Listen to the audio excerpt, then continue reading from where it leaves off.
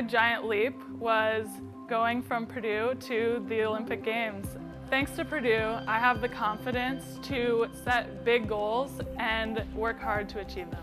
I graduated from Purdue in 2013, and after I graduated, I went on to win an Olympic gold medal at the Rio Olympics in rowing. I think Purdue gave me the confidence to work hard and be consistent in my dreams and just go for it. It was hard, but I'm proud of all the work I put in and it paid off. All my siblings went to Purdue. My dad was a professor here. I actually grew up in West Lafayette.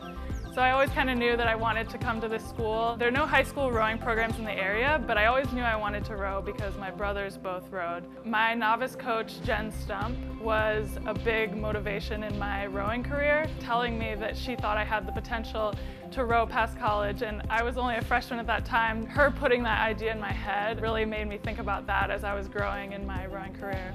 A big influence in my professional development We're just my teammates at Purdue. We all pushed each other and kept each other accountable and uh, rowing practice was more than rowing, it was community.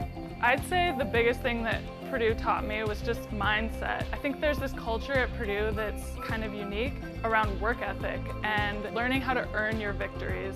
At Purdue, especially on the rowing team as a club, we were never entitled to ever, anything. We worked for everything and just learning to be independent and working hard and earning our victories, that was something that I took past Purdue and was really important in my development. In my sophomore year at Purdue, we won the Dad Vail Regatta in Philadelphia and by winning that race, we got to race at the Women's Henley Regatta in England.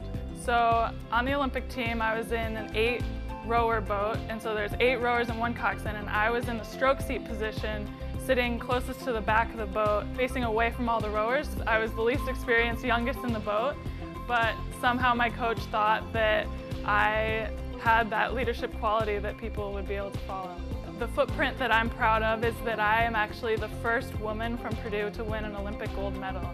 And I'm proud of that because looking forward, there are going to be hopefully many more women that achieve that title. That was Amanda Elmore. Look for more stories at purdue.edu slash footprints.